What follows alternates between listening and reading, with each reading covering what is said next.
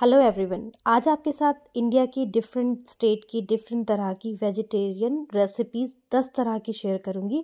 इंशाल्लाह उम्मीद करती हूँ आपको पसंद आएगी। हमारी सबसे पहली रेसिपी है कच्चे केले की, जिसको हमने बंगाली स्टाइल में बनाया है। जिसे आप खाएँगे तो आपको बिल्कुल फ़िश करी की रेसिपी का एहसास होगा। तो यहाँ पर मैंने कच्चे केले लिए हैं, करीब आधा किलो, और इनको लंबाई में पतला पतला काट लिया है, और इसको हमने धोना नहीं है छिलका आराम से उतारेंगे और आपने इसको इस तरह से काट लेना है। ये देखिए ये आपको लुक जो है इसका फ़िश की तरह लगेगा।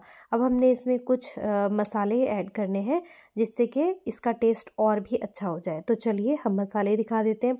सबसे पहले मैंने यहाँ पर लिया है quarter teaspoon turmeric powder और इसी में हम डाल देंगे थोड़ा सा रेड चिली पाउडर तो यहाँ पर हमने कश्मीरी लाल मिर्च का इस्तेमाल किया है, हाफ़ टी स्पून जिससे कि इसका कलर बहुत अच्छा आएगा। और क्वार्टर टी स्पून से थोड़ा सा ज़्यादा हमने डाला है धनिया powder, half teaspoon chaat masala डाला है, और आधा चम्मच ही हमने डाला है नमक, और क्वार्टर टी स्पून डाल रही हूँ भुना ज़ीरा पाउडर, और यहीं पर हाफ़ टी स्पून डाल रही हूँ गरम मसाला पाउडर। तो बस ये जिंजर गार्लिक पेस्ट हम हाफ़ टी स्पून डाल करके इसे हम अच्छे से मिक्स कर देंगे। और हाथ से ही हमने मिक्स करना है। हर एक पीस पर जो भी केले के पीस हैं, उन पर अच्छे से ये मसाला कोट हो जाना चाहिए। क्योंकि इससे जो है ना, इसका टेस्ट बहुत ही अच्छा आने वाला है। अब हम इसे रख देंगे और तब तक हम थोड़ी सी तैयारियाँ कर लेते हैं। तो सबसे पहले मैंने यहाँ पर लिया है फ्राइड अनियन करीब हाफ़ कप हमने फ्राइड अनियन लेना है। और आप चाहें तो इसे बना लें। आराम से बन जाता है। मैंने बनाना बताया हुआ भी है, आप चाहें तो लिंक देख करके बना सकते हैं। यहीं पर एक बड़ी इलायची डाली है, चार से पाँच हमने लौंग डाल देनी है, आठ से दस काली मिर्च डालनी है, हाफ़ टी स्पून ज़ीरा डालना है, यहीं पर दो हरी इलायचियाँ डालनी है। थोड़ा सा जवित्री का फूल समझें कि आधा डाला है और यहीं पर जायफल डाली है। थोड़ा सा टुकड़ा मैं आपको दिखा देती हूँ जायफल किस तरह की होती है। ये देखिए, इतना बड़ा टुकड़ा होता है, इसमें हमने बहुत थोड़ा सा तोड़ के डालना है और यहीं पर हम डाल देंगे ginger garlic paste one teaspoon. जो हमने जिंजर गार्लिक केले पर लगाया है, उससे अलग हमने थोड़ा सा यहाँ इस्तेमाल करना है। अब यहाँ पर करीब हाफ़ कप मैंने दही लिया है। ये बिल्कुल भी खट्टा नहीं है। बिल्कुल नॉर्मल मीठा दही है और इसको अब हमने ग्राइंड करके एक अच्छा सा स्मूथ सा पेस्ट बना लेना है। तो देखिए, बहुत अच्छा सा स्मूथ सा यहाँ पर पेस्ट बन चुका है। अब हम इसमें थोड़े से मसाले डालेंगे। सबसे पहले यहाँ पर डाल रही हूँ कश्मीरी लाल मिर्च पाउडर या देगी मिर्च अगर आप लेंगे तो बहुत स्पाइसी और मज़े का बनेगा। दो चम्मच धनिया डाला है, क्वार्टर टी स्पून हल्दी डाली है, आधा चम्मच नमक डाला है। नमक और मिर्च आप अपने टेस्ट के अकॉर्डिंग डाल सकते हैं। इसको एक बार और ग्राइंड किया और ये स्मूथ सा पेस्ट हमारा तैयार हो गया। अब हमने यहाँ पर फ्राइंग पैन में ऑयल गर्म कर लेना है। आप मस्टर्ड ऑयल अगर ले लें तो बहुत ही अच्छा होगा, क्योंकि हम इसको बंगाली स्टाइल बना रहे हैं और जो फ़िश होती है वो हमेशा ही मस्टर्ड ऑयल में बेहतरीन बनती है। तो यहाँ पर हमने ऑयल को अच्छी तरह से पका करके जब इसमें धुआँ उठ जाएगा तो हमने थोड़ी देर के लिए फ्लेम ऑफ़ कर देनी है उसके बाद दोबारा ऑन करके हमने थोड़ा सा टेम्परेचर इतना कर देना है कि जब हम बनाना को फ्राई करें तो अच्छे से फ्राई हो जाए। अब हमने एक एक पीस अलग करके इसको हमने गोल्डन ब्राउन होने तक फ्राई कर लेना है। जितने भी हमने बनाना लिए हैं, उनको हमने गोल्डन ब्राउन करना है। और उसके बाद हमने इसे निकाल देना है। इसी तरह जितने भी केले के पीसेस हैं, उन्हें आपने इसी तरह फ्राई करना है। दूसरी बात यह है कि हमने इस पर एक हल्की सी कोडिंग लगाई है मसालों की। तो आप देख सकते हैं, मैंने करीब ये बनाना जब ऑयल में डाला तो दो से तीन मिनट हमने बिल्कुल भी इसमें करछी नहीं लगाई। चम्मच बिल्कुल भी नहीं लगाना है, क्योंकि इससे क्या होगा, अगर आप तुरंत ही चम्मच लगा लेंगे तो जो भी हमने कोडिंग करी होती है, वो उतर जाती है। तो दो मिनट के बाद ही हमने यहाँ पर चम्मच चलाया है और आप देख सकते हैं, सारे मसाले इस पर एज इट इज़ चिपके हुए हैं। है ना? तो बस ये गोल्डन फ्राई कर लेना है और इनको हमने कर लेना है साइड पर। इसी तरह बाकी के बचे हुए भी बनाना, जो भी आप लेंगे, उन्हें इसी तरह आपने गोल्डन ब्राउन कर लेना है। तो केले अच्छे से ये फ्राई हो गए। इनको हमने निकाल करके प्लेट में रख दिया है। सारे ही केले फ्राई कर लिए थे। अब हमने कर लेनी है ग्रेवी की तैयारी। तो यहाँ पर भी हमने मस्टर्ड ऑयल ही लिया है और इसको हमने अच्छे से गर्म करने के बाद हमने हल्का सा ठंडा कर लिया था, क्योंकि मस्टर्ड ऑयल में हल्की सी महक होती है। अब यहाँ पर करीब मैंने हाफ़ टी स्पून लिया है फेनुग्रिक सीड्स, यानी कि मेथी दाना, ये हमने लिया है और यहाँ पर हम डाल देंगे। इसे हम थोड़ी देर अच्छे से पकने देंगे जिससे कि इसका कलर हल्का सा चेंज हो जाए और इसकी खुशबू बहुत अच्छे से निकल आए। जब ये अच्छे से जो है इसका खुशबू आ जाएगी तो हम इसमें जो हमने पेस्ट बना कर मसाले रखे थे ना मिक्सर ग्राइंडर में, वो हमने सारे मसाले डाल देना है। एकदम सिंपल रेसिपी है। कोई ताम झाम नहीं, कुछ नहीं, सिर्फ़ थोड़ा सा बनाना को फ्राई व्राई करना होता है। बाकी बेसिक मसालों से हम ये रेसिपी तैयार कर रहे हैं और यकीन करें, इतनी टेस्टी ये कोई रेसिपी बनती है कि आप अगर किसी गेस्ट के सामने भी इसे सर्व करेंगे ना तो समझें कि मज़ा ही आ जाएगा। आप ख़ुद एक बार घर पर ट्राई करके ज़रूर देखिएगा। यहाँ पर अब मसाला अच्छे से भुन चुका है, ऑयल सारा रिलीज़ हो चुका है। आप ये देख सकते हैं। भुनाई जो है ना, कोई भी खाना आप बना रहे हैं, भुनाई अच्छे से होनी चाहिए। अगर थोड़ा भी मसाला कच्चा रह जाएगा ना तो सारे ही खाने का टेस्ट ख़त्म हो जाएगा। तो ये छोटी छोटी सी टिप्स हैं, जो आप याद रखिए और उनको फॉलो करके अगर आप कोई भी कोई भी रेसिपी बनाएँगे ना तो वो बेस्ट ही बनने वाली है। तो ये देखिए, अच्छे से हम इसको भून रहे हैं और थोड़ा सा यहाँ पर हमने पानी मिलाया है, बहुत ज़्यादा पानी नहीं मिलाना है। क्योंकि हमने इसको थोड़ा सा फ़िश करी की तरह से बनाना है। तो बस हल्की सी हमने इसमें ग्रेवी करी है और यहाँ पर हमने डाल देनी है कसूरी मेथी। इससे भी इसका जो खुशबू है बहुत अच्छी आएगी। इसे थोड़ा सा पकने देते हैं, उबाल आ जाएगा, उसके बाद हम आगे का स्टेप बताएँगे कि आगे आपने क्या करना है। तो यहाँ पर उबाल आ चुका था, फ्लेम मैंने हल्की कर दी थी। तो अब जो भी हमने बनाना फ्राई करे थे, वो हम इसमें डाल देंगे और इसको हल्का सा मिक्स कर देंगे।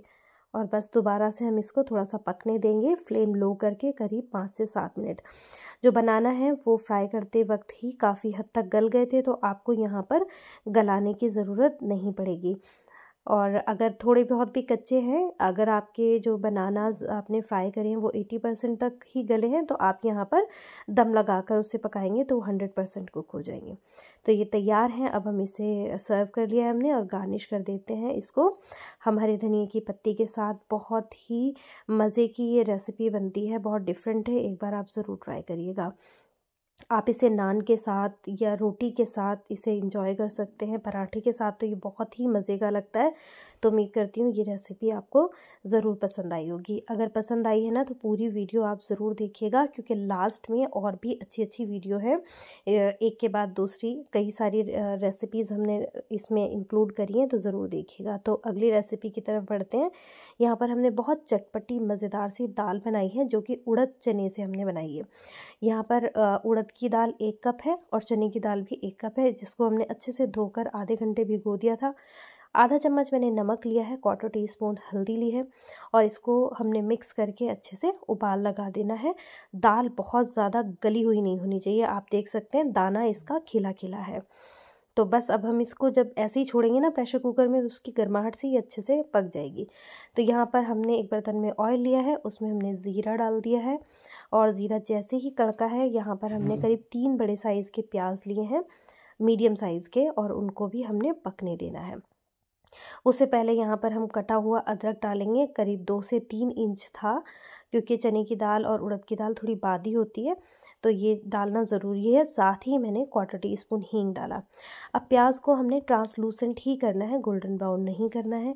इसके बाद हमने तीन मीडियम साइज़ के टमाटर लेने हैं और उनको भी हमने इसमें डाल देना है और थोड़ा सा नमक हमने जब प्याज ब्राउन कर रहे थे तब नहीं डाला था, लेकिन अभी टमाटर को गलाने के लिए हमने यहाँ पर थोड़ा सा नमक डाला है। यहीं पर हमने हाफ़ टी स्पून डाला है जिंजर गार्लिक पेस्ट और इसको अब हम अच्छे से भूनेंगे जब तक कि टमाटर पूरी तरह सॉफ्ट ना हो जाए। अब यहाँ पर हाफ़ टी स्पून डाला है कुटी हुई लाल मिर्च, यानी कि दड़ा मिर्च, half teaspoon red chilli powder quarter teaspoon turmeric powder, one teaspoon हमने धनिया पाउडर ही डाला है। तो ये मसाले बेसिक से हैं, यही डालेंगे। और बहुत चटपटी बनेगी। आप देखिएगा, इसमें भी हम मिर्च और भी डालेंगे। ऐस तो बस ये आप जब देखेंगे, टमाटर अच्छे से गल घुल गए हैं, इनका अच्छा सा पेस्ट बन गया है, ग्रेवी सी हो गई है तैयार तो आपने ये दाल इसमें पलट देनी है। ये देखिए, दाल अच्छे से जब आप यहाँ पकाएँगे ना तो ये बहुत अच्छे से थिक हो जाएगी।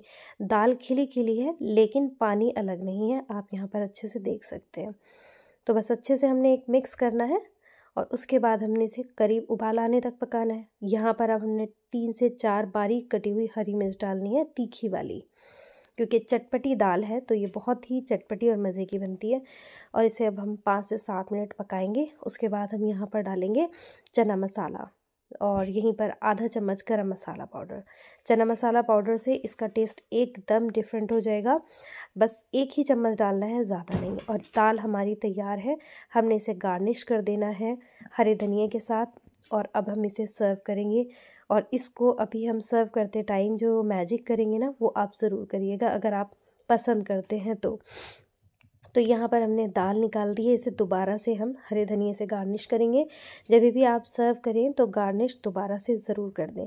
हरा धनिया डाल करके ढक्कन ज़रूर पाँच मिनट के लिए दम पे लगाएँ। इससे हरे धनिए की खुशबू अंदर तक आ जाती है।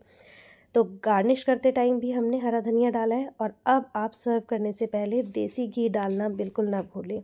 देसी घी या बटर के साथ अगर आप दाल को सर्व करते ना तो टेस्ट और भी मज़े का आ जाएगा। तो उम्मीद करती हूँ ये वाली रेसिपी भी आपको ज़रूर पसंद होगी। तो चलिए अगली रेसिपी की तरफ़ बढ़ते हैं और देखते हैं हमारी अगली रेसिपी कौन सी है। तो यहाँ पर अगली रेसिपी है बहुत ही मज़ेदार दीवानी हांडी की रेसिपी। तो दीवानी हांडी मिक्स वेजिटेबल के साथ बनती है।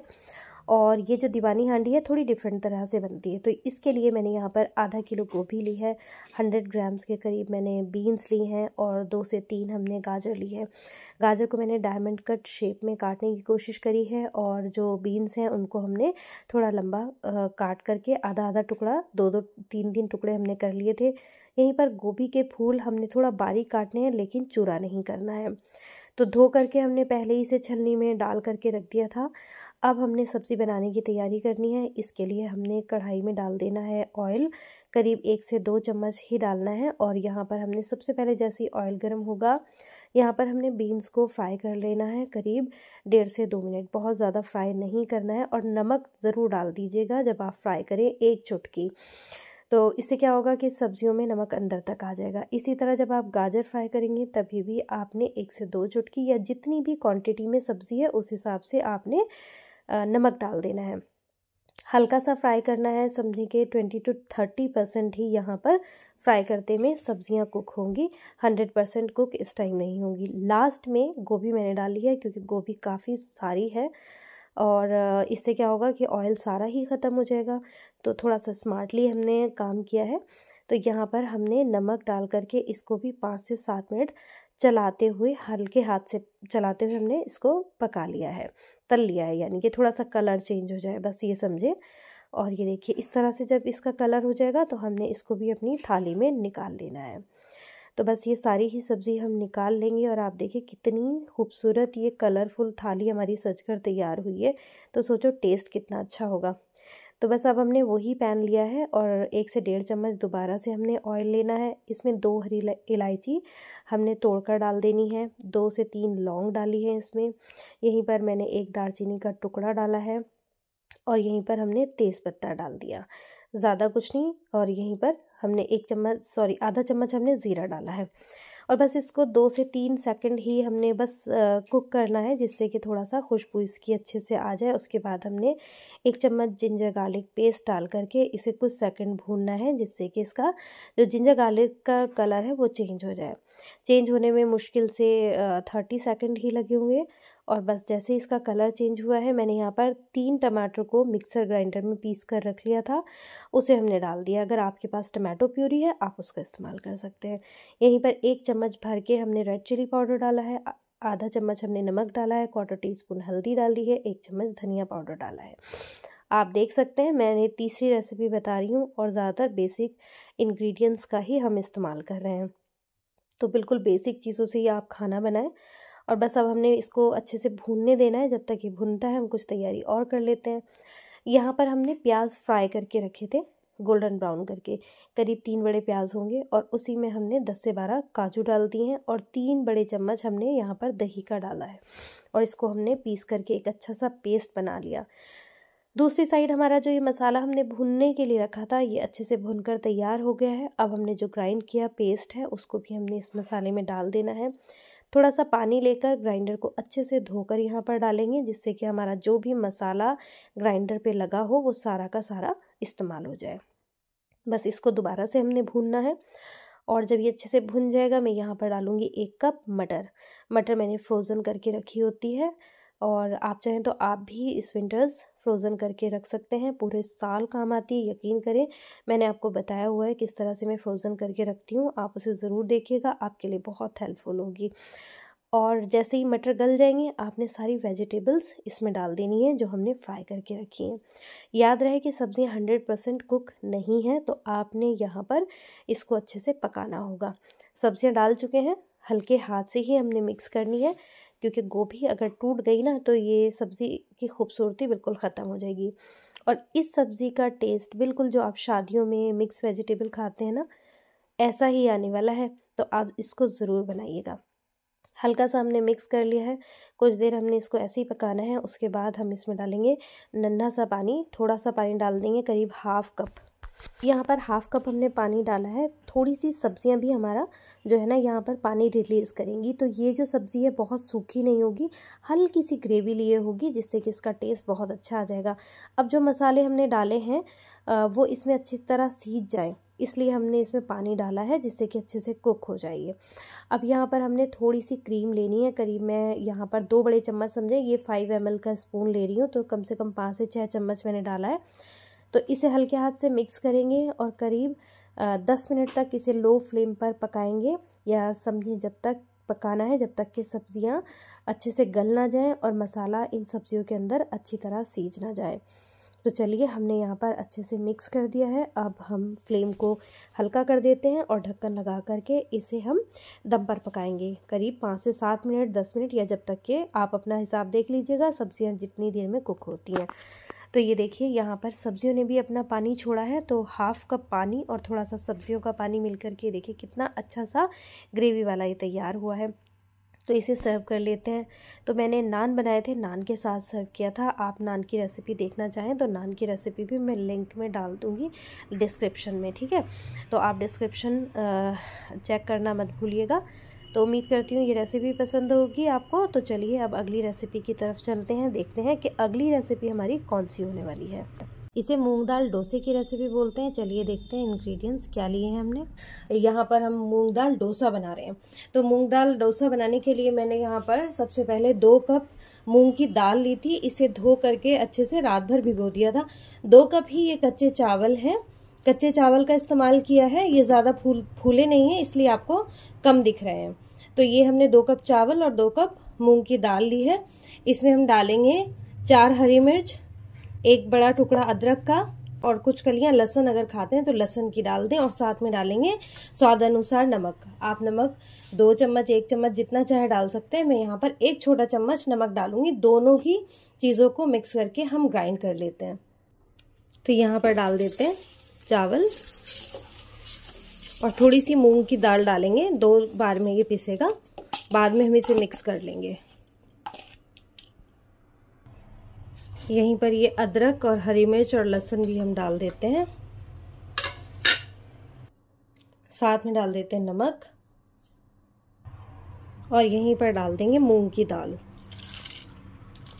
पानी बहुत थोड़ा सा डालना है, आपने क्योंकि कंसिस्टेंसी बाद में एडजस्ट करनी होगी। तो बस ये थोड़ी मूंग की दाल बचा ली है, बाद में इसको डाल करके पीस लेंगे और मिक्स कर देंगे। तो पीस करके सब कुछ फिर आपको दिखाती हूँ। तो ये पीस चुका है, इसे निकाल लेते हैं।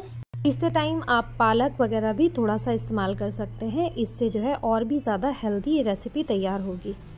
और यहाँ पर बाकी मूंग की दाल भी हम पीस करके उसी बर्तन में निकाल देते हैं।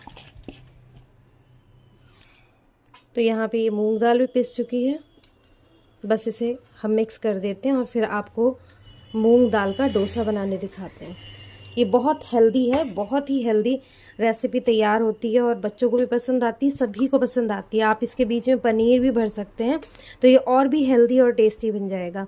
तो मैं इसे प्लेन ही बना रही हूँ। आप जैसे चाहें इसे बना सकते हैं। तो चलिए बस अब थोड़ा सा कंसिस्टेंसी एडजस्ट करते हैं इसकी। कंसिस्टेंसी हमने इसकी बिल्कुल वैसी रखनी है जैसे डोसे की रखते हैं। तो डोसा बनाना मैंने बताया हुआ है, चटनियाँ बनानी बताई हुई है। आपको लिंक मैं दे दूँगी डिस्क्रिप्शन में दे दूँगी या फिर आप आई बटन चेक कर लिया कीजिए।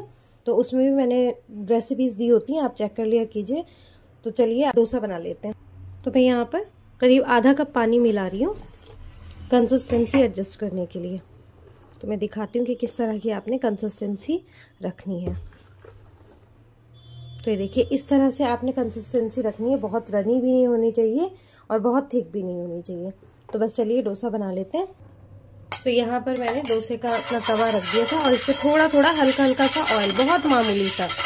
ज़्यादा तेल नहीं लगाना, हल्का सा। जब अच्छे से गर्म हो जाए तो आपने इस पर हल्का सा ऑयल लगा लेना है।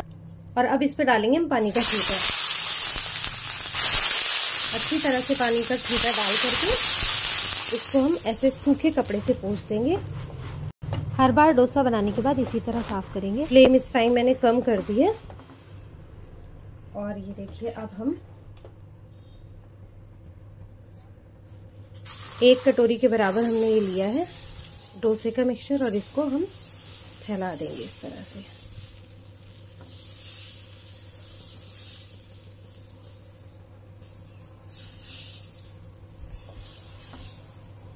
चारों तरफ़ फैला देते हैं इस तरह, फिर मैं आपको दिखाऊँगी।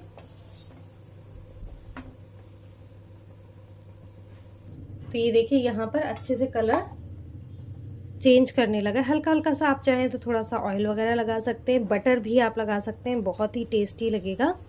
बच्चों के लिए अगर बना रहे हैं तो आप बटर वगैरह डाल तो अब ये देखिए, किनारे इसने छोड़ दिए हैं, आप देख सकते हैं, बिल्कुल किनारे छुटे हुए हैं।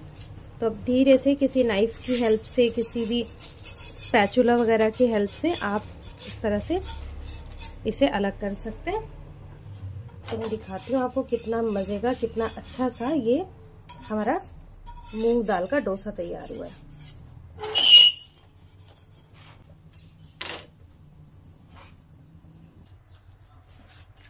तो इसे हम सर्व करेंगे बहुत ही मज़ेदार जो हमारी नारियल की चटनी है, उसके साथ नारियल की चटनी, टमाटर की चटनी, सांभर वगैरह मैंने पहले ही अपलोड किए हुए हैं। आप एक बार ज़रूर देख लीजिएगा। लिंक मैं दे दूँगी डिस्क्रिप्शन बॉक्स में भी और आई बटन में भी।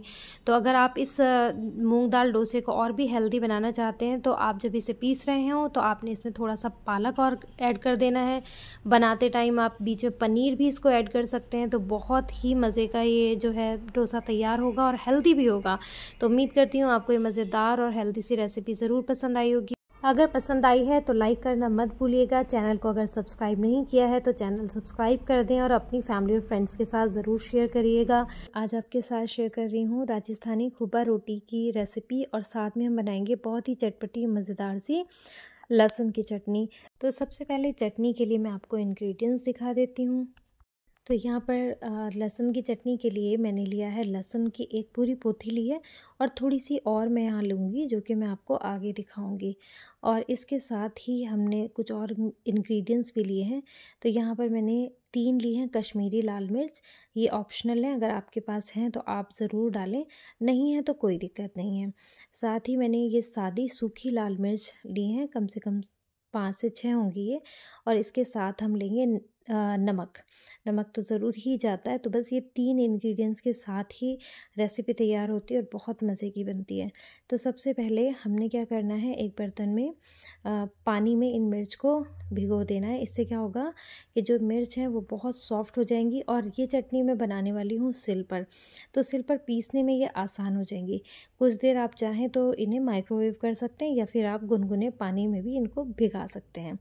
तो पाँच मिनट इसे भीग जाने देते हैं। उसके बाद हम चटनी बनाएँगे। तब तक मैं यहाँ पर लहसुन छील करके आपको बताऊँगी कि लहसुन को हमने किस तरह से छीलना है। जो लहसुन है, उसका आपने पूरा छिलका नहीं उतारना है। बस ये ऊपर से जो थोड़ी सी रह जाती है ना डंडी सी, वो आपने निकालनी है और बीच की जो डंडी होती है लहसुन की, बस वो निकालनी है। आपने छिलका नहीं निकालना है। छिलके से इसका टेस्ट बहुत अच्छा आता है। तो यहाँ हमने सारी ही कलियाँ पोथी पूरी खोल दी है। अब ये जो मैं कह रही थी थोड़ी सी और लेनी है लहसुन तो ये वो लहसुन है जो मेरे पास एक्स्ट्रा रखा हुआ था। कम से कम आपने डेढ़ पोथी लहसुन की लेनी है। लहसुन थोड़ा ज़्यादा रखेंगे तो टेस्ट अच्छा आएगा। अब चलते हैं सिल की तरफ़। तो सिल के नीचे मैंने कपड़ा बिछा लिया था। कभी भी आप सिल का इस्तेमाल करें तो नीचे कपड़ा बिछा लें, तभी इस्तेमाल करें। अब यहाँ पर लहसुन ले लिया है। अब यहाँ पर लहसुन में थोड़ा सा पानी हल्का सा छींटा डाल करके और इसको थोड़ा सा कूट लेंगे, हल्के हाथ से, बहुत हल्के हाथ से कूटना है। उसके बाद जब ये थोड़ा सा कूट जाएगा, तभी हमने इसमें नमक डालना है। तो हल्का हल्का इसे कूट लेते हैं। नमक डालने से क्या होगा कि जो मिर्च है और लहसुन है, वो बहुत अच्छे से पिस जाएगी। तो चलिए बस इसमें एक चम्मच नमक डाल देते हैं। नमक आप अपने टेस्ट के अकॉर्डिंग कम या ज़्यादा कर सकते हैं। तो बस ये थोड़ा सा जब लहसुन थोड़ा सा पीस जाएगा, उसके बाद ही हमने जो भीगी हुई मिर्च है, वो डालनी है। तो मैं लहसुन पीस लेती हूँ हल्का सा तो यहाँ पर आप देख सकते हैं, लहसुन काफ़ी हद तक पिस चुका है, लेकिन जो छिलके हैं, वो आपको साफ़ नज़र आ रहे हैं। तो लहसुन के छिलके की आपने टेंशन बिल्कुल नहीं लेनी है, ये पिस जाएँगे। अब यहीं पर हमने जो भीगी हुई मिर्च थी, इनको भी हमने लेकर के पीस लेना है। आप काफ़ी अच्छे से इसको पीसेंगे तो जो मिर्च है वो भी बिल्कुल अच्छे से पिस जाएँगी और लहसुन का जो छिलका है ना, वो भी बिल्कुल पिस जाएगा, कोई रेशा नहीं रहेगा। तो यहाँ आप देख सकते हैं, हमने चटनी पीस ली है और निकाल दी है। तो यहाँ पर वीडियो काफ़ी लंबी हो जाती इसलिए मैंने जल्दी से चटनी कटोरी में निकाल दी है। अब एक बर्तन में हम करेंगे सरसों के तेल को अच्छी तरह गर्म। यहाँ पर मैंने दो बड़े चम्मच सरसों का तेल लिया है। और इसे अच्छी तरह हम पका लेंगे जब तक कि इसमें से धुआँ ना निकल जाए। और जो तेल है, उसमें से धुआँ निकलने पे क्या होता है कि इसकी जो महक है, वो ख़त्म हो जाती है। अब यहाँ पर मैंने तीन लहसुन की कलियाँ ली हैं, जिनको अच्छे से हमने छील लेना है, क्योंकि अब पीसना तो है नहीं नहीं तो फिर ये रेश आएँगे, इसलिए छिलका अच्छे से उतार दें और इसको हमने बारीक काट लेना है। तो ये बारीक काट लेंगे, उसके बाद हम अब यहाँ पर आप देख सकते हैं कि जो ऑयल है, वो अच्छे से गर्म हो चुका था तो मैंने फ्लेम बंद कर दी। इसे कुछ देर छोड़ देना है, जिससे कि टेम्परेचर डाउन हो जाए। अगर आप गर्म तेल में चटनी डालेंगे तो जो तेल है वो सारा छिटक जाएगा। इसलिए तेल को अच्छे से ठंडा होने दें, उसके बाद ही चटनी डालें। तो यहाँ पर ये जो चटनी है, ये मैं तड़का लगा कर बना रही हूँ। इसे बिना तड़के के, सिर्फ़ सिंपली पीस करके भी वैसे भी खाया जाता है। वैसे भी बहुत स्वाद लगती है। तो दोनों ही तरीके से खाया जाता है। आप चाहें तो इसे सिल पर पीस करके ऐसे ही उठा लें जैसे मैंने उठा रखी है और इसे कटोरी में निकाल करके आप कच्ची भी खा सकते हैं। और यहाँ पर मैं तड़का लगा कर दिखाऊँगी तो आप इस तरह से भी बना सकते हैं। तो अब यहाँ पर तेल हमारा ठंडा हो चुका है। अच्छे से हमने खूब पहले पकाना है। उसके बाद फ्लेम बंद कर देनी है। जब ये अच्छे से गर्म हो जाए उसके बाद ठंडा कर लेना है इसको। अब यहाँ पर जो हमने लहसुन की कलियाँ काटी थी वो हम इसमें डाल देंगे। और ये देख सकते हैं, ठंडा होने के बावजूद भी जो तेल है, वो उसका टेम्परेचर इतना है कि लहसुन की कलियाँ इसी में ही कलर चेंज कर देंगी। तो हमने फ्लेम अभी तक ऑन नहीं करी है। तो जब ये कलर चेंज कर लेगा, हम चटनी डाल देंगे इसमें, उसके बाद ही हमने फ्लेम ऑन करनी है। तो ये देखिए अच्छे से सुनहरा हो चुका है, अब हमने चटनी डाल दी है। और अब हमने यहाँ पर थोड़ी देर में फ्लेम ऑन करनी है और इसे अच्छे से भून लेनी है। बहुत मज़े की ये चटनी बनती है और खुबा रोटी के साथ तो ये बहुत ही अच्छी लगती है। वैसे भी आप नॉर्मल रोटी पर घी लगा कर के भी लहसुन की चटनी खाएँगे तो आपको बहुत मज़े की लगेगी। तो बस यहाँ पर ये फ्लेम ऑन कर दी है मैंने और इसे पाँच से सात मिनट हम अच्छे से भूनेंगे और उसके बाद हम ये समझें कि हमारी चटनी तैयार हो गई तो इसे भून लेते हैं और हम आपको दिखाते हैं इसे सर्व करके फिर। जब चटनी भुन जाएगी तो वो इस तरह की शक्ल पर आ जाएगी। तो बस ये चटनी हमारी तैयार हो चुकी है, फ्लेम बंद कर देते हैं और इसको हम एक साइड रखते हैं और चलते हैं खुबा रोटी की तरफ़। खुबा रोटी के लिए हम क्या क्या इंग्रेडिएंट्स लेने वाले हैं, वो हम आपको दिखाते हैं।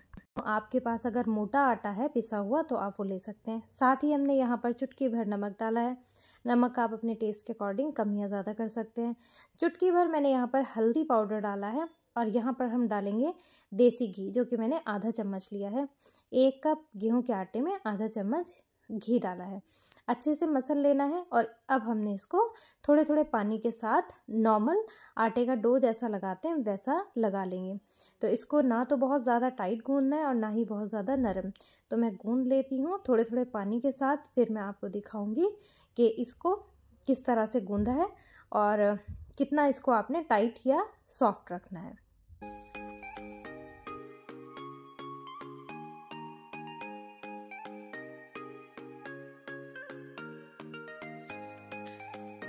तो यहाँ पर मैंने आटा गूंद दिया है, आप देख सकते हैं। ना ज़्यादा बहुत टाइट है और नरम भी नहीं है ज़्यादा। अब यहाँ मैंने एक तवा गर्म होने के लिए रख दिया है और जब ये अच्छी तरह गर्म हो जाएगा तो हम इस पर रोटी डालेंगे। तब तक हम आटा देख लेते हैं। आटे को मैंने पंद्रह मिनट छोड़ दिया था सॉफ्ट होने के लिए। तो ये देख सकते हैं, बहुत अच्छा सा तैयार हो गया है और इससे एक ही रोटी बनेगी। मैंने इतना ही आटा गूंदा था। और फिर बाद में ये रोटी इतनी पसंद आई कि फिर मैंने और आटा गूंधा और और रोटी बनाई। तो मुझे आपको टिप्स एंड ट्रिक्स बनाने का भी, बताने का भी, सॉरी, मौका मिल गया। तो चलिए, ये मैंने यहाँ पर बातें करते करते पेड़ा तैयार कर लिया है। और नॉर्मल जिस तरह रोटी का पेड़ा बनाते हैं, उसी तरह बनाना है। मैं यहाँ पर बिना खुश्की के, यानी कि बिना, जो सूखा आटा है, उसके बिना ही गूँध रही हूँ। आपको अगर लगे तो आप थोड़ा सा सूखा आटा डस्ट करके भी कर सकते हैं। जो घी था वो इतना ज़्यादा था कि आराम से बिल गया था। तो अब मैं यहाँ पर दिखा रही हूँ कि आपने कितना मोटा इसको बनाना है। तो करीब एक इंच के आसपास ये मोटा होगा। नॉर्मल रोटी जो होती है उससे दो गुना या तीन गुना समझें कि ये रोटी बनती है। मोटी, काफ़ी मोटी रोटी बनती है, आप पेड़े से अंदाज़ा लगा सकते हैं। तो जैसे ही ये एक साइड से सीखेगा हम इसे पलट देंगे, जैसे नॉर्मल रोटी पलटी जाती है।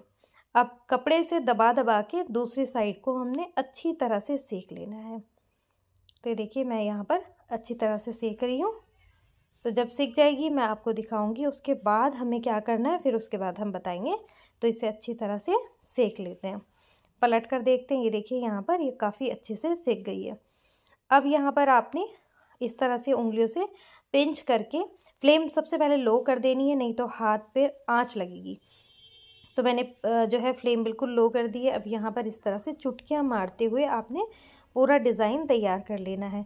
थोड़ा गर्म लग रहा होता है, हाथ काफ़ी जल रहा होता है, लेकिन ये इस तरह से बना लेते हैं।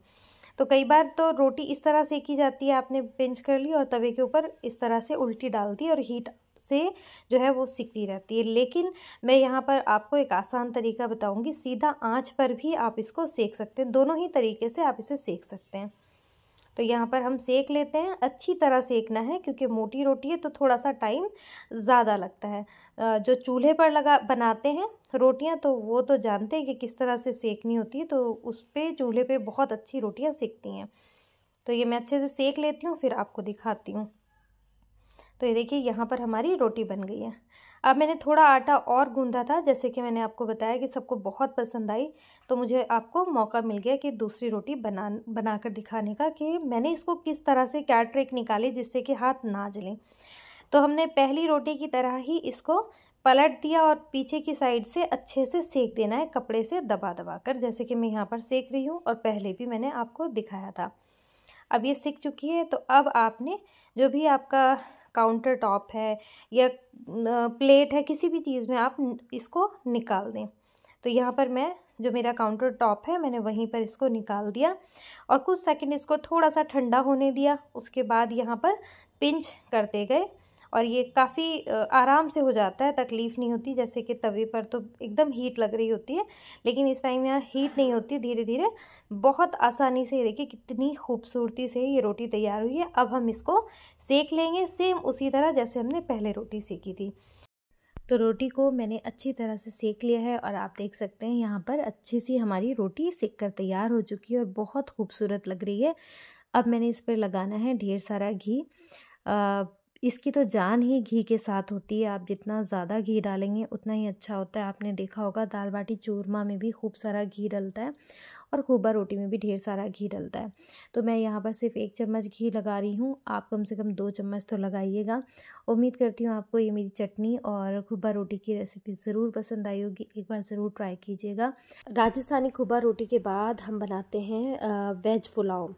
वेज पुलाव बनाने के लिए यहाँ पर मैंने एक कढ़ाई में ऑयल गर्म किया था और उसमें डाल दिया है करीब एक छोटा प्याज, जिसको हम हल्का सा गोल्डन ब्राउन करेंगे।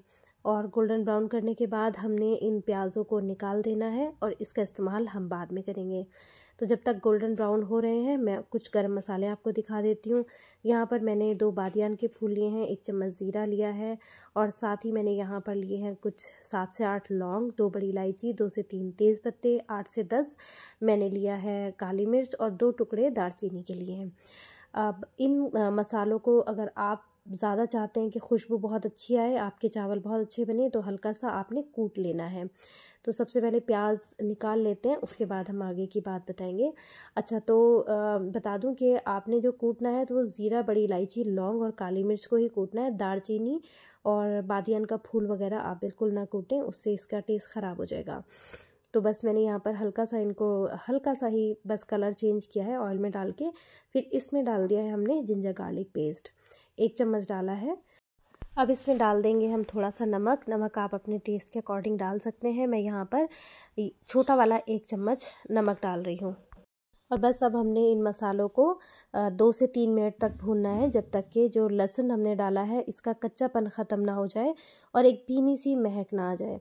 तो ये जो मसाले मैं तैयार कर रही हूँ, ये समझें कि दो कप चावल उबाल करके हमने पहले रखे हुए थे, उनके लिए हम बना रहे हैं। तो अगर आप दो कप चावल से बना रहे हैं तो आपको इन्ग्रीडियंट इस तरह से इस्तेमाल करने और अगर आप ज़्यादा बना रहे हैं तो आप उसका डबल कर सकते हैं या उसी हिसाब से आप ज़्यादा कर सकते हैं या कम अगर बना रहे हैं तो कम कर सकते हैं। तो यहाँ पर ये तैयार हो चुका है भुन करके। अब मैंने यहाँ पर दो टमाटर लिए हैं, इनको हम रफली चॉप कर देंगे। तो आप चाहे तो इसे चॉपिंग बोर्ड पे काट लें, मैं यहाँ डायरेक्ट काट रही हूँ। इस टाइम मैंने फ्लेम लो कर दी है, क्योंकि अगर हम चम्मच नहीं चलाएँगे तो जिंजर गार्लिक पेस्ट चल जाएगा और टेस्ट ख़राब हो जाएगा। तो यहाँ पर दो टमाटर हम काट कर डाल देंगे। और नमक हमने डाला हुआ है तो फ़ौर ही टमाटर गल भी जाएँगे। तो ये एक आसान तरीका होता है टमाटर को जल्दी से गलाने का, कि उसमें थोड़ा सा नमक डाल दें चुटकी भर और टमाटर बहुत इजीली सॉफ्ट हो जाते हैं। तो बस अब फ्लेम फुल करते हैं और टमाटर को भी अच्छे से भून कर गला लेते हैं। तो ये देखिए, यहाँ पर टमाटर हमारे काफ़ी हद तक सॉफ्ट हो चुके हैं, करीब एक डेढ़ मिनट ही मैंने इसको पकाया होगा। अब यहाँ पर मैं डाल रही हूँ एक चम्मच कसूरी मेथी। और आप चाहें तो फ्रेश मेथी का भी इस्तेमाल कर सकते हैं। सर्दियों के दिनों में मेथी बड़ी अच्छी आ रही होती है अगर गर्मियों में आप ये रेसिपी बनाएँ तो बेशक आप कसूरी मेथी का इस्तेमाल करें। बहुत ही मज़े की ये बनती है। तो मैं तो विंटर्स में भी कसूरी मेथी ही डालती हूँ। तो बस अब यहाँ पर आप देख सकते हैं कि अच्छे से भुन चुका है। तो यहाँ पर अब हम डालेंगे सब्ज़ियाँ। आप सब्ज़ी कोई भी डाल सकते हैं, गोभी, गाजर, मटर, मैं यहाँ पर डाल रही हूँ। यहाँ पर स्वीट कॉर्नस है मेरे पास थोड़ी पत्ता गोभी है गाजर है और शिमला मिर्च है। सब्ज़ियाँ आपकी पसंद की आप कोई भी डाल सकते हैं। तो यहाँ पर बस हमने ये सारी सब्ज़ियाँ डालनी है और इनको कुछ सेकंड पकाना है जिससे कि इनका सिर्फ़ कच्चापन दूर हो जाए। अब अगर आप गोभी वगैरह डाल रहे हैं मटर डाल रहे हैं तो आपने उनको तब तक पकाना है जब तक कि वो अच्छे से गल ना जाए। तो हर सब्ज़ी का अपना एक अलग तरीका होता है। जो सब्ज़ियाँ मैं यहाँ पर डाल रही हूँ, उनका अगर आप क्रंच रखेंगे तो वो टेस्टी लगेंगी। और अगर आप सब्ज़ियाँ कोई और डाल रहे हैं तो आपको उन्हें गलानी होंगी। तो बस आप इन चीज़ों का ध्यान रखिएगा, या तो आप यही सब्ज़ी डाल लीजिएगा। तो बस मैंने कुछ सेकंड पकाने के बाद ये उबले हुए चावल थे, आप चाहें तो फ्रेश उबाल कर बना सकते हैं। अगर आप चाहें कि आपके पास leftover leftover rice रखे हैं तो आप उनको भी इस तरह से बना कर खाएँगे ना तो यकीन करें मज़ा आ जाने वाला है। किसी चटनी वटनी की ज़रूरत नहीं है। आप इसमें कटी हुई हरी मिर्च डाल देंगे या कुटी हुई मिर्च डाल देंगे ना, दड़ा मिर्च जिसे कहते हैं, चिली फ्लेक्स वगैरह तो उसका भी टेस्ट इसमें बहुत अच्छा आता है। तो बस हल्के से इसे मिक्स करेंगे और इसको मिक्स करने के बाद हम लो फ्लेम पर दम पर लगा देंगे और ये मज़ेदार सा हमारा जो वेज पुलाव है तैयार हो जाएगा। किसी भी गेस्ट के सामने आप बना सकते हैं। लेफ़्ट ओवर राइस से आप बना सकते हैं। आप घर में बना सकते हैं। किसी भी तरह से आप इसे बनाएँ, ये हमेशा हमेशा बहुत लाजवाब और बहुत ही अच्छा इसका टेस्ट आता है। उम्मीद करती हूँ ज़रूर आपको पसंद आया होगा। तो चलिए इसे सर्व करके दिखाते हैं और अगर आपको मेरी रेसिपीज़ पसंद आ रही हैं तो लाइक करना बिल्कुल मत भूलिएगा। तो चलिए अगली रेसिपी की तरफ़ चलते हैं जो कि हमारे उत्तराखंड से है, दाल साग। बहुत ही डिफरेंट रेसिपी है हेल्दी रेसिपी है और टेस्टी रेसिपी इसकी जितनी तारीफ़ करूँ कम है। तो ज़रूर बनाइएगा। तो चलिए इंग्रेडिएंट्स देख लेते हैं। धुली, दली उड़द ली है, छिलके वाली एक कप। यहीं पर धनिया लिया है, दो चम्मच, एक चम्मच नमक, एक चम्मच मिर्च, आधा चम्मच हमने हल्दी ली है और जिंजर गार्लिक पेस्ट लिया है हमने, एक बड़ा चम्मच और साथ में आप बथवा ले सकते हैं अगर सर्दियों में आप बना रहे हैं और चाहे तो आप पालक ले सकते हैं। वहाँ पे अलग तरह का पालक आता है जो बथवे की तरह दिखता है। तो वो पालक यहाँ नहीं मिलता है, उत्तराखंड में ही मिलता है, पहाड़ी पालक के नाम से। तो अगर आपको वो मिल जाता है तो बेशक आप वो इस्तेमाल करें, नहीं तो आप बथुआ या पालक दोनों में से किसी का भी इस्तेमाल कर सकते हैं। तो बथुए को साफ़ करके अच्छे से डूबते हुए पानी में आपने धो लेना है। उसके बाद आपने सारे इंग्रेडिएंट्स डाल के इसको गला लेना है। जैसे कि आप देख सकते हैं यहाँ पर प्रेशर कुकर में मैंने गलाया है और इस तरह से आपने इसे घोटना है। मिक्सी से बिल्कुल भी नहीं चलाना है। मिक्सी में अगर आप ग्राइंड करेंगे तो इसका टेस्ट ख़राब हो जाएगा। जैसे साग को हम मिक्सी में पल्स मोड पे चलाते हैं ना तो वैसे भी आपने नहीं करना क्योंकि इसका जो ऑथेंटिक टेस्ट है वो इसी तरह से आएगा। तो आपने करछी से इस तरह से साइड में घोटा लगाना है, हल्का हल्का, बहुत ज़्यादा घोटा नहीं लगाना है। पाँच से सात मिनट अगर आप करेंगे तो ये इस तरह से आ जाएगा, मैं आपको दिखाती हूँ। तो बस, अब हमने हांडी में इसको तड़का लगाना है। मिट्टी की हांडी में अगर आप तड़का लगा रहे हैं ना तो कुछ चीज़ों का टेस्ट तो बहुत ही अच्छा आ जाता है। तो मैं यहाँ पर मस्टर्ड ऑयल का इस्तेमाल कर रही हूँ। मस्टर्ड ऑयल को हमने हमेशा की तरह अच्छी तरह पकाना है और यहाँ पर याद रहे, मिट्टी का बर्तन काफ़ी देर तक गर्म रहता है। तो उस हिसाब से आप गर्म करें। अब तड़के के लिए यहाँ पर लेनी है सूखी लाल मिर्च। तो करीब चार मैंने सूखी लाल मिर्च ली थी, एक चम्मच ज़ीरा लिया है। अब यहाँ पर जो ये मैं ले रही हूँ, ये आप राई मत समझिएगा। तो ये राई अगर आप लेंगे तो टेस्ट ख़राब हो जाएगा। इसको कहते हैं जखिया। जखिया अगर आपके पास नहीं है तो आप राई का इस्तेमाल बिल्कुल नहीं करेंगे। सरसों या राई का इस्तेमाल नहीं करेंगे। आपने सिर्फ़ लहसुन, जो कि मैं दिखा रही हूँ, ज़ीरा और साबुत मिर्च का तड़का आप लगा लेंगे। तो ये छोटी सी चीज़ है, इसे आप ध्यान रखिएगा। अगर जखिया है तो इसका टेस्ट सच में बहुत बढ़िया आने वाला है। नहीं है तो भी चलेगा, लेकिन आप सरसों का इस्तेमाल, राई का इस्तेमाल बिल्कुल मत कीजिएगा। तो चलिए, तेल गर्म हो चुका है, हम देख लेते हैं क्या करना है। तो सबसे पहले तो फ्लेम बंद कर देंगे। उसके बाद हम डालेंगे सारे इंग्रेडिएंट्स तो यहाँ पर गढ़वाल में जो मिर्च डाली जाती है ना, वो थोड़ा सा तेज़ कलर पे लाते हैं। डार्क कलर पे कर लेते हैं। तो अभी ये ठंडा हो रहा है तब तक मैंने आपको कहा था कि मैं दाल दिखाऊँगी। तो ये देखिए दाल घोटने पर ऐसी हो गई है ठीक है? इस तरह से आपने कर लेना है। बहुत अच्छे से घोटा लगाना है। दाल भी थोड़ी थोड़ी नज़र आनी चाहिए और जो पालक है या बथुआ जो भी आप ले रहे हैं वो भी यहाँ पर अच्छे से नज़र आना चाहिए। इसका टेस्ट आपको ना एक बार अगर आप बनाएँगे ना चावल के साथ ही खाया जाता है बहुत मज़े का लगता है। तो ऑयल यहाँ पर जो टेम्परेचर है वो कम हो चुका है। अब भी अगर हम मिर्च डालेंगे तो वो कालेपन पर आएगी तो मैं इसे कालेपन पर करूँगी, जैसे कि उत्तराखंड में गढ़वाल में होता है। थोड़ा सा थोड़ा सा डार्क होता है, बहुत ज़्यादा डार्क नहीं होता। तो बस तुरंत ही हमने यहाँ पर लहसुन डाल देना है और जखिया डाल देना है, ज़ीरा वगैरह सब डाल देना है। साथ ही आप हींग डालना बिल्कुल मत भूलें। हींग से इसका टेस्ट बहुत ही अच्छा आता है। दूसरी बात यह है कि जो उड़द की दाल है, वो थोड़ा सा हज़म होने में भी आसानी हो जाती है। तो यहाँ कुछ ही सेकंड लगे और हमारा जो, ये सारे इंग्रेडिएंट्स हैं ना, ये सारे पककर तैयार हो चुके हैं। आपको दिख रहा होगा लहसुन काफ़ी हद तक गोल्डन ब्राउन हो चुका। फ्लेम मैंने अभी थोड़ी देर पहले ऑन करी है। मिट्टी का बर्तन काफ़ी देर तक गर्म रहता है। तो इस बात का आप ध्यान रख करके करें। अब यहाँ पर हमारे सारे इंग्रेडिएंट्स पक चुके हैं। अब हमने इसमें डाल देना है साग। तो साग सारा डालेंगे, उसके बाद हमने इसमें बस एक से दो उबाल लगाने हैं और ये बढ़िया मज़ेदार गढ़वाली दाल साग तैयार है। एक बार ज़रूर ट्राई करिएगा। भाई डिफरेंट डिफरेंट तरह की रेसिपीज़ आप देखते हैं। गढ़वाल की रेसिपी भी आप एक बार ट्राई करिएगा, आपको ज़रूर पसंद आएगी। इसको चावल से खाया जाता है। चावल से तो आप ज़रूर इसे खाकर देखिएगा और अगर आप चाहें तो इसे रोटी पराठे के साथ भी खा सकते हैं। जो असल तरीका है वो चावल से है। तो उम्मीद करती हूँ आपको मेरी ये रेसिपी भी पसंद आई होगी। तो यहाँ पर उबाल आ चुका है। गैस बंद करते हैं और इसे सर्व करके दिखाते हैं। तो अगली रेसिपी देखना मत भूलिएगा। इसे तो मैं सर्व कर रही हूँ। अगली रेसिपी भी बहुत अच्छी है। लास्ट तक वीडियो ज़रूर देखा करें। तो उससे ये होगा कि कोई भी जो स्टेप है वो स्किप नहीं होगा। अब यहाँ तो डिफरेंट रेसिपीज़ हैं। तो वो भी आप सारी ही देख कर जाइएगा। ऐसे मत चले जाइएगा। तो ये सर्व हो चुका है। और इसे आप चावल के साथ खाएँ, मज़ा करें। तो चलिए हम अगली रेसिपी की तरफ़ चलते हैं। तो आज मैं बना रही हूँ बिल्कुल डिफरेंट तरीके से गोभी मटर की सब्ज़ी। एक बार इसे ज़रूर ट्राई करिएगा। चलिए इंग्रेडिएंट्स देख लेते हैं। रेसिपी को बनाने के लिए कुछ इंग्रेडिएंट्स मैं अभी आपको दिखा रही हूँ। बाकी के इंग्रेडिएंट्स हम साथ के साथ आपको दिखाएँगे जब हम रेसिपी तैयार करेंगे। तो सबसे पहले हम मटर गोभी की सब्ज़ी बना रहे हैं। तो यहाँ पर मैंने आधा किलो मटर छील कर लिए हैं। और यहीं पर एक किलो गोभी थी, जिसको हमने बहुत मोटे टुकड़ों में नहीं काटना और ना ही बारीक टुकड़ों में काटना है बस इस तरह से टुकड़े हो जाएँ। इस तरह से टुकड़े आपने बना लेने हैं। और इसको मैंने धोकर भिगो दिया था और अच्छे से धो लिया है। यहीं पर मैंने दो बड़े साइज़ के प्याज लिए हैं और उसको बारीक पीस लिया है। पानी बहुत थोड़ा सा डाला था, समझे कि दो से तीन घुट। और इसी तरह मैंने तीन से चार बड़े टमाटर लिए हैं, उनको पीस लिया है। ये समझे कि दो कप प्याज और दो कप पिसे हुए टमाटर की प्यूरी। दोनों हमने दो दो कप लेनी है। तो चलिए, अब हम रेसिपी तैयार कर लेते हैं। एक बड़ा बर्तन हमने रखा है गैस पर। फ्लेम ऑन कर ली है। अब यहाँ पर दो बड़े चम्मच हमने ऑयल डालना है और इसे गर्म होने देना है। जब तेल गर्म हो जाएगा तो हम इसमें डालेंगे एक चम्मच ज़ीरा। तो ये ज़ीरा डाल दिया।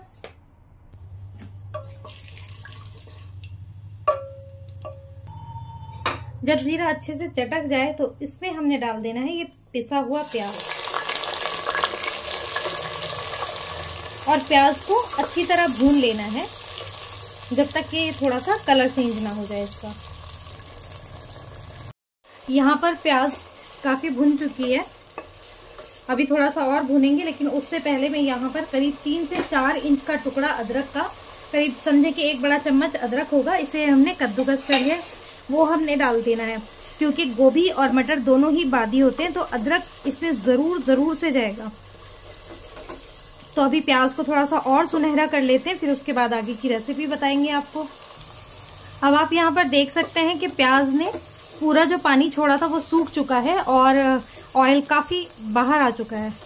तो अब हम इसमें डालेंगे टमाटर, क्योंकि प्याज का कलर भी काफ़ी चेंज हो चुका है। तो जो भी हमने टमाटर की प्यूरी बनाई थी, वो सारी डाल देनी है और इसको भी हमने भूनना है। थोड़ा सा इसका पानी खुश्क हो जाए, फिर हम इसमें मसाले ऐड करेंगे और बताएँगे कि इसमें कौन कौन से मसाले डालने हैं। टमाटर का पानी थोड़ा सा खुश्क हुआ है, लेकिन अभी भुना नहीं है टमाटर तो इसी टाइम पे हमने मसाले डालने हैं।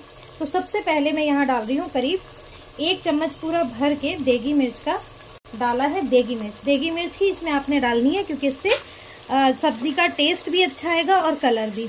अब हम और मसाले ऐड करते हैं। आधा चम्मच हल्दी डाल रही हूँ। यहाँ पर दो चम्मच धनिया पाउडर डाल तो ये हो गया दो चम्मच धनिया। ठीक है, और अब हम इसे अच्छे से भून लेंगे। जब तक इसकी अच्छे से भुनाई नहीं हो जाती, तब तक के हमने इसको पकाते रहना है। चलाते हुए पकाना है धीरे धीरे थोड़ी थोड़ी देर में हम चलाएँगे इसको। तो इसे अच्छे से भून लेती हूँ, फिर मैं आपको दिखाती हूँ। अच्छा इसमें नमक हम डाल देते हैं एक चम्मच। नमक मैंने आपको दिखाया नहीं और डाला भी नहीं। तो यहाँ पे एक चम्मच नमक डालते हैं। तो अब यहाँ पर मसाला हमारा अच्छे से भुन चुका है। अब हमने इसमें ये मटर डाल देनी है सारी। और इसे मिक्स करना है और थोड़ा सा पानी डालकर इसे ढक करके पका लेना है, जब तक कि थोड़ा सा मटर अच्छे से गल ना जाए। तो मैं पानी डाल देती हूँ। तो यहाँ पर मैं डाल रही हूँ एक कप पानी। और इसको मिक्स कर देते हैं और धीमी आँच पर हम इसे पकने देते हैं। पहले फुल फ्लेम पर दो से तीन मिनट पकाएँगे, फिर उसके बाद धीमी आँच पर इसे पकाएँगे, जिससे कि मटर जल्दी से गल जाए। दो से तीन मिनट इसे हो चुके हैं पकते हुए। अब हमने फ्लेम लो कर दी है और इस पर ढक्कन डाल दिया है। अब इसे पाँच से सात मिनट और पकाएँगे, जिससे कि मटर गल जाए।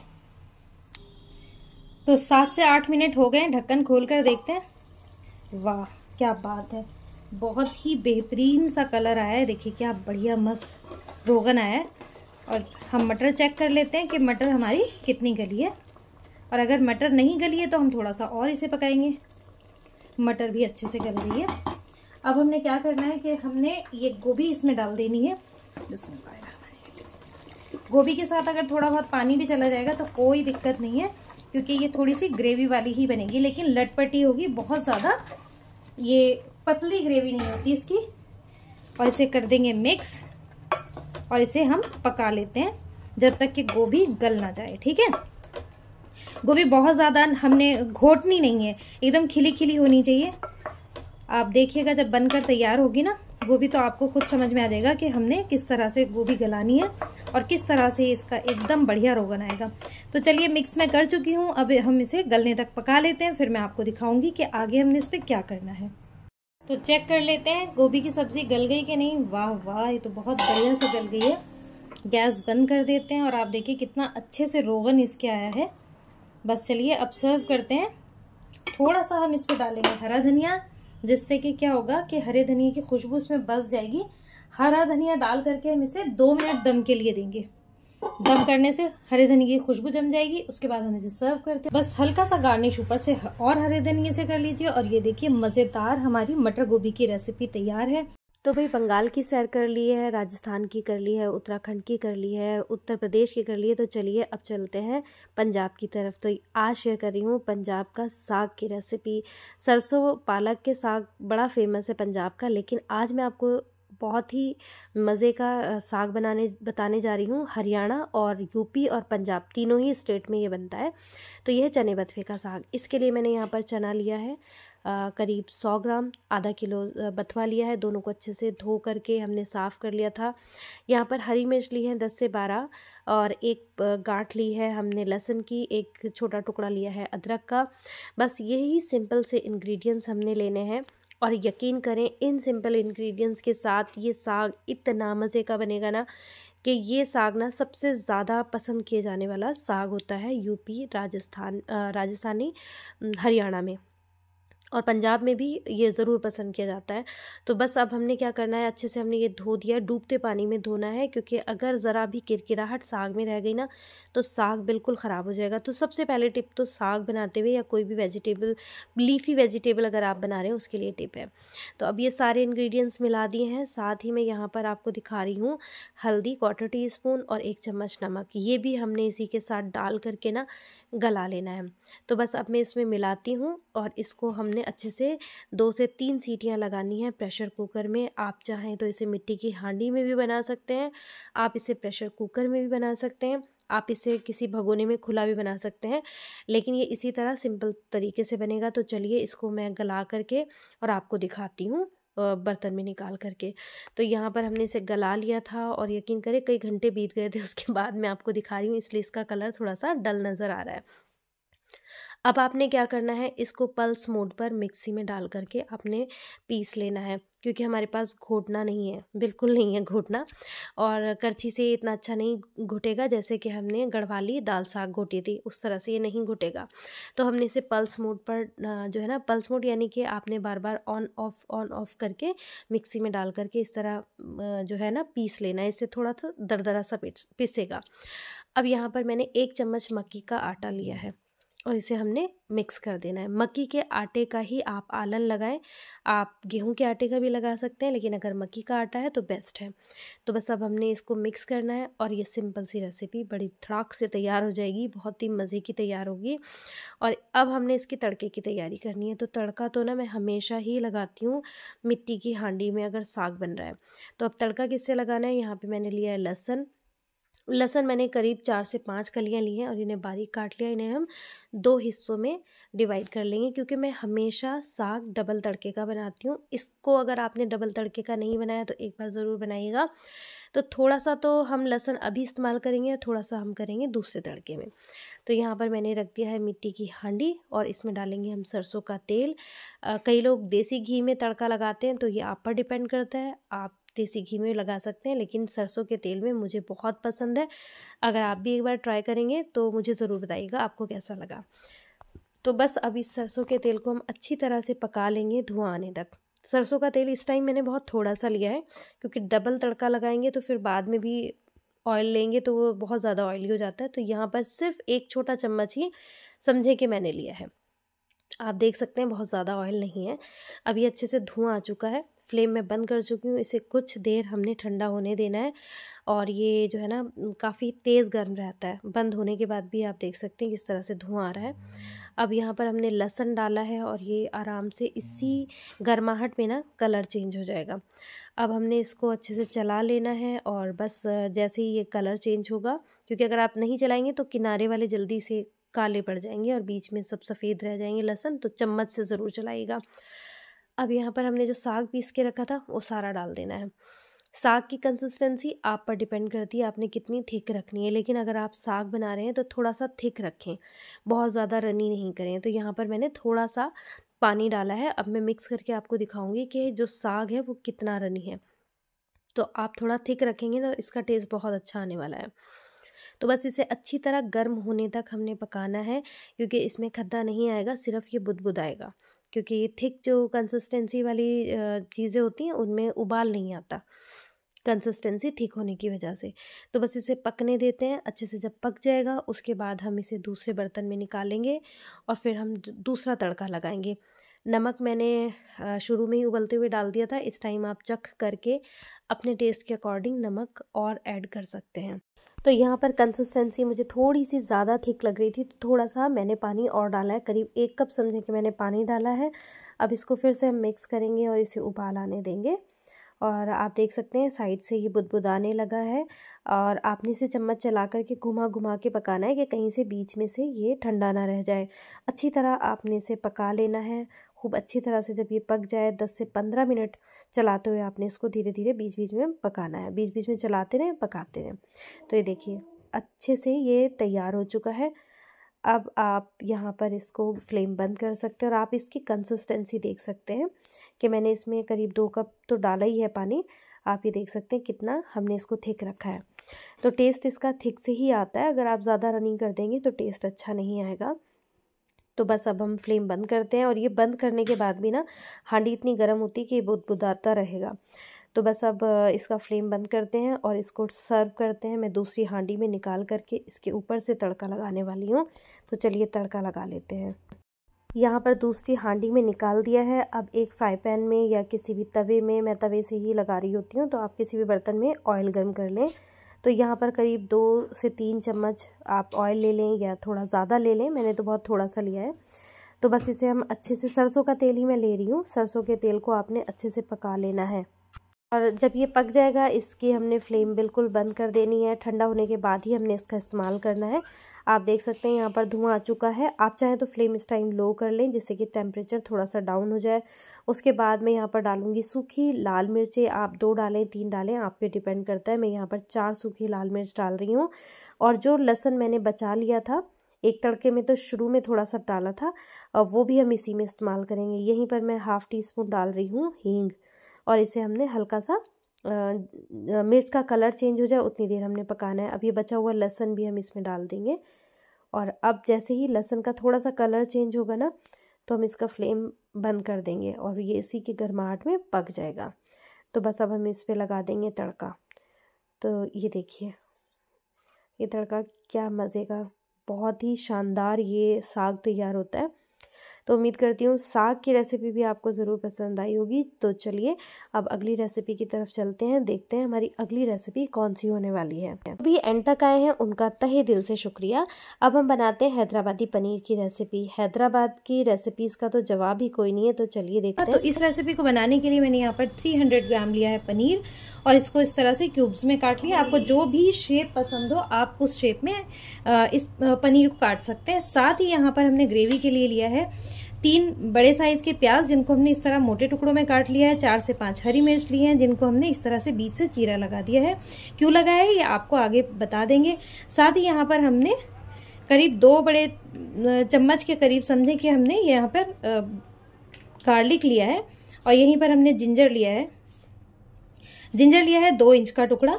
तो चलिए अब हम कुकिंग स्टार्ट करते हैं। तो यहाँ पर मैंने थोड़ा सा खुला ऑयल लिया है और इसे अच्छे से गर्म कर लिया है। आप मस्टर्ड ऑयल का भी इस्तेमाल कर सकते हैं। मैं यहाँ पर रिफाइंड ऑयल ले रही हूँ और यहीं पर हमने ये प्याज जो मोटे टुकड़ों में डाली थी, इन्हें हमने तीन से चार मिनट फ्राई कर लेना है जब तक कि इनका कलर चेंज नहीं होता। तो ये देखिए, यहाँ पर प्याज अच्छे से कलर चेंज कर चुकी है। आप देख सकते हैं। ये देखिए। और बस अब हमने इसको निकाल लेना है एक प्लेट में। तो प्याज को मैंने यहाँ प्लेट में निकाल लिया है। और अब हम यहाँ पर गर्म ऑयल में डालेंगे ये अदरक, लहसुन और हरी मिर्च। हरी मिर्च को काटने का रीज़न ये था कि ये ऑयल में जाके चटती नहीं। तो बस इसको भी हम कुछ देर फ्राई कर लेते हैं और इसे निकाल लेते हैं।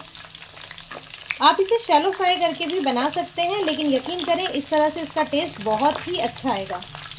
तो बस कुछ सेकंड हमने पकाना है जब तक कि ये लहसुन का कलर थोड़ा सा चेंज ना हो जाए। कुछ देर हो चुकी है और लहसुन भी हमारा पककर तैयार हो गया है। हम इसको भी निकाल लेते हैं प्लेट में। अब इसी गर्म ऑयल में हम पनीर को भी फ्राई कर लेंगे।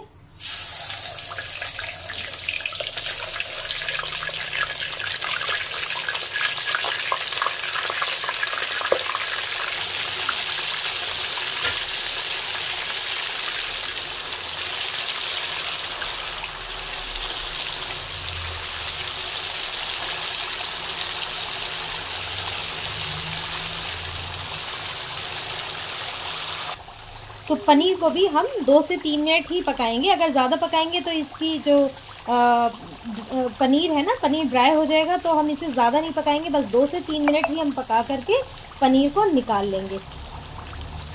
तो देखिए बस अब हम पनीर को हल्का हल्का सा ही हम फ्राई करेंगे इसे हम निकाल लेते हैं। अब हमने तैयार करनी है अच्छी सी ग्रेवी तो उसकी तैयारी कर लेते हैं। तो यहाँ पर जो हमने प्याज फ्राई करे थे वो हम डाल देंगे। ठीक है? और यहाँ पर अदरक, लहसुन और हरी मिर्च, ये भी हम डाल देंगे। और साथ ही मैंने यहाँ पर लिया है थोड़ा सा पुदीना। तो ये मैं आपको दिखा देती हूँ। एक मुट्ठी पुदीना लिया है। तो ये हम डाल देते हैं। यहीं पर हम डाल देंगे ये हरा धनिया। और इसका पेस्ट हम अच्छे से बना लेते हैं। तो ये देखिए, ये यहाँ पर अच्छा सा पेस्ट बन गया है। तो चलिए कुकिंग कर लेते हैं। तो यहाँ पर मैं सेम कढ़ाई ले रही हूँ और ऑयल मैंने कम कर लिया है। वही ऑयल का इस्तेमाल कर रही हूँ, बस थोड़ा कम किया है। साथ ही मैं यहाँ पर ले रही हूँ ज़ीरा। करीब एक चम्मच लिया है। दो से तीन छोटे टुकड़े मैंने लिए हैं दालचीनी के। चार से पाँच लौंग लिए हैं और एक बड़ी इलायची। तो ये हम डाल देंगे और कुछ सेकंड हम इसको पकाएँगे और उसके बाद जो हमने मसाला तैयार किया था, वो हम इसमें डाल देंगे।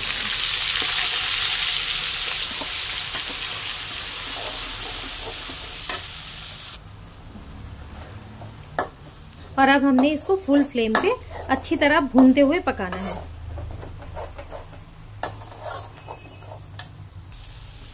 तो ये देखिए, यहाँ पर अच्छे से भुन चुका है। पाँच से सात मिनट मैंने इसे अच्छे से भुना है। अब हम इसमें डालेंगे दही। फ्लेम मैंने इस टाइम लो कर दी है। कभी भी आप दही डालें तो फ्लेम को लो कर दें। तो दही यहाँ पर मैं डाल रही हूँ करीब एक कटोरी। दही डाल देंगे। फ्लेम लो है, इसलिए कि दही फटे नहीं। अगर आप फुल फ्लेम पर दही डालेंगे तो दही फट जाएगी। और बस अब हम इसको अच्छे से मिक्स करेंगे। पानी मैंने इसमें बिल्कुल भी नहीं डाला है, क्योंकि हमें तो दही का पानी भी खुश्क करना है। इस टाइम हम फ्लेम फुल कर देंगे, क्योंकि दही हम अच्छे से मिक्स कर चुके हैं। अब हम इसे चलाते हुए भूनेंगे। ठीक है? और इसी के साथ हम इसमें डालेंगे थोड़े से मसाले, जिससे कि मसाले भी दही के साथ भूनते चले जाएँ। ठीक है? तो थोड़ा सा टाइम बच जाता है। तो यहाँ पर सबसे पहले मैं डाल रही हूँ क्वार्टर टी स्पून जीरा पाउडर क्वार्टर टी स्पून मैं डाल रही हूँ ब्लैक पेपर पाउडर यानी कि कुटी हुई काली मिर्च या पीसी हुई काली मिर्च। आप कुटी या पीसी कोई सी भी डाल सकते हैं। यहीं पर मैं डाल रही हूँ हाफ़ टी स्पून से थोड़ा सा कम गरम मसाला पाउडर यहीं पर मैंने उसी स्पून को भर करके डाला है धनिया पाउडर तो एक चम्मच धनिया पाउडर डाला है। और यहीं पर मैं डाल रही हूँ क्वार्टर टी स्पून से थोड़ा सा ज़्यादा रेड चिली पाउडर क्योंकि हमने हरी मिर्च भी डाली है और कुटी हुई काली मिर्च भी डाली है। ज़्यादा तीखा पसंद करते हैं तो आप यहाँ पर जो है आप वन टीस्पून भी डाल सकते हैं रेड चिली पाउडर लेकिन मैं ज़्यादा तीखा नहीं बना रही हूँ। यहीं पर हाफ़ टी स्पून में डाल रही हूँ टर्मरिक पाउडर इससे जो है ना कलर बहुत अच्छा आने वाला है। यहीं पर नमक डाल रही हूँ मैं एक चम्मच से थोड़ा कम, क्योंकि नमक हम बाद में भी डाल सकते हैं। कहीं ऐसा ना हो कि नमक तेज़ हो जाए। और बस अब हम इसे अच्छे से चला लेंगे। ठीक है? और इसे भून लेंगे अच्छे से। तो भून लेती हूँ, फिर मैं आपको इसको दिखाती हूँ।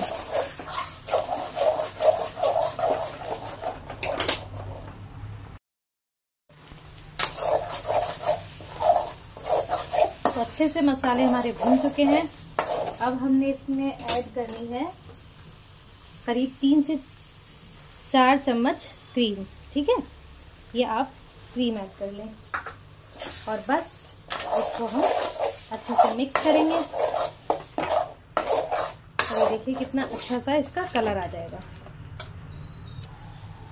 तो ये देखिए, अब इसकी कंसिस्टेंसी एडजस्ट करने के लिए मैं यहाँ पर आधा कप दूध डाल रही हूँ।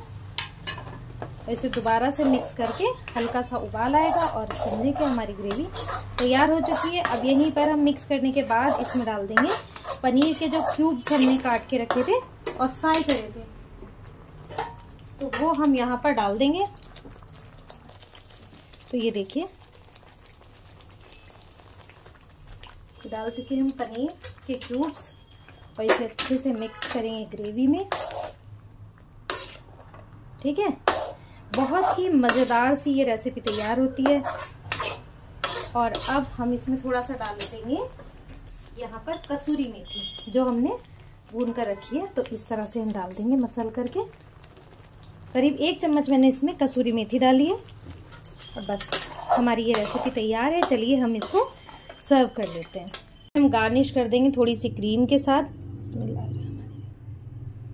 देखिए, बहुत मज़ेदार सी ये रेसिपी तैयार होती है। आप एक बार ज़रूर बनाइएगा। बहुत मज़ेदार लगने वाली है आपको। और आप इसको बार बार बनाएँगे। थोड़ा सा गार्निश कर देंगे यहाँ ऊपर से कसूरी मेथी से, ठीक है? और साथ ही हम इसमें डाल देंगे थोड़ी सी धनिया पत्ती। ये लीजिए। और अब हम एक और चीज़ से इसे गार्निश करेंगे, जिससे कि इसमें चार चाँद लग जाएँगे। तो यहाँ पर मैंने एक चम्मच ज़रा सा ऑयल लेकर उसमें दो चुटकी डाला था रेड चिली पाउडर और उसका तड़का हमने तैयार किया है। और ये देखिए क्या खूबसूरत सा ये लगने वाला है। ये देखिए, वाह वाह वाह वाह, इसे खा करके तो ना मज़ा ही आ जाने वाला है। उम्मीद करती हूँ आपको मेरी इस रेसिपी के साथ बाकी की रेसिपीज़ भी ज़रूर पसंद आई होंगी। अगर आपको मेरी रेसिपीज़ पसंद आई हैं तो वीडियो को लाइक करना मत भूलिएगा और अगर चैनल को अभी तक सब्सक्राइब नहीं किया है तो प्लीज़ चैनल को सब्सक्राइब कर दीजिए और बेल आइकन प्रेस कर दीजिए जिससे मेरी आने वाली सारी वीडियोस आपको फ़ौरन मिल जाएँ। तो दुआ में याद रखिएगा। इंशाल्लाह मिलेंगे अगली किसी मज़ेदार सी रेसिपी के साथ। जब तक के लिए अल्लाह हाफिज़।